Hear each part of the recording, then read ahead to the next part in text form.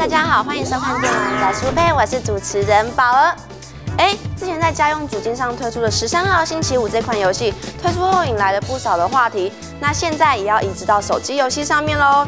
想要随时随地体验一下胆战心惊的鬼抓人吗？就让我们一起来看看吧。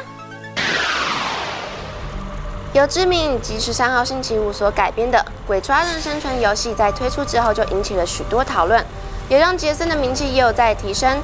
类似这种躲猫猫生存游戏的《绝地求生》，在最近也都推出了手机游戏版本，抢攻行动游戏市场。当然，鬼抓人游戏怎么可以放过这机会呢？现在由网易游戏开发的《第五人格》，就是一款在手机上推出的捉迷藏生存游戏。玩家将扮演一名侦探，在收到一封神秘的信件后，前往庄园调查失踪案。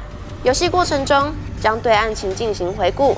同时可以扮演监管者或逃生者来展开对抗，在调查最后，玩家将发现越来越恐怖的真相。